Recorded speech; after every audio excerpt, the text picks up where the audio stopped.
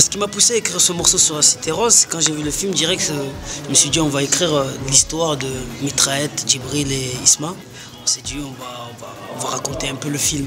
Et c'est pour ça que justement le titre du morceau s'appelle La Cité Rose, comme le film, par rapport à l'histoire de ces trois, euh, protagonistes, on va dire ça comme ça.